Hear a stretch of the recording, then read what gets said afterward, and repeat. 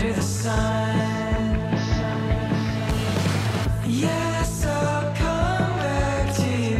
Then I'll ask, what have we done under the sun?